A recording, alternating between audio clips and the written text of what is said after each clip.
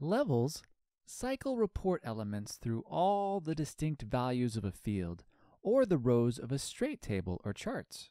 The results are displayed in the order of the field elements or of the rows of the table used to create it. You can also create complex hierarchies by nesting levels. To get started, the Excel add-in must be installed in your instance of Microsoft Excel. Click the Qlik icon in the Home ribbon to activate the add-in. In the Space field, choose the Qlik Cloud Analytics space containing the app you want to connect the template to, and then select the app in the drop-down menu.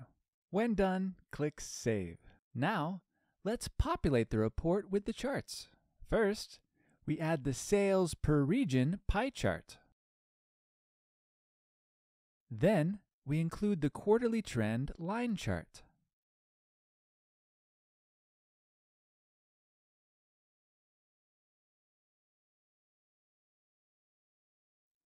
Levels also apply to table objects.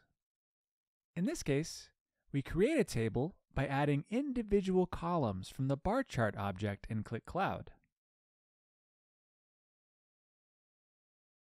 Format it using the table formatting features. And add a delete row tag at the end of the table. Click on the levels and pages and then click Add Level. Select the cell where you want to add the tags, then click the Add Level button. All entities of the connected Qlik app that can be used to create a level will appear. In this case, we expand the fields and select Product group. Include the report object between the level tags. Format the report title as needed. For example, change the font size and color. When done, click the Preview button to download a preview of the report. By opening it, you can see that the report has been generated displaying cycle report elements through all the distinct values of the product group field. You can also nest levels. In this example, we add another level for the product type field. Include this level nested inside the previous one and format the text as before.